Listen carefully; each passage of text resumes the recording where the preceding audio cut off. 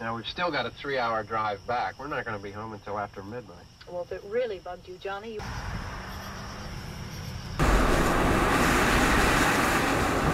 Okay.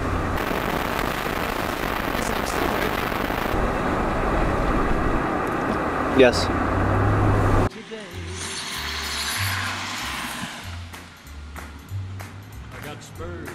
I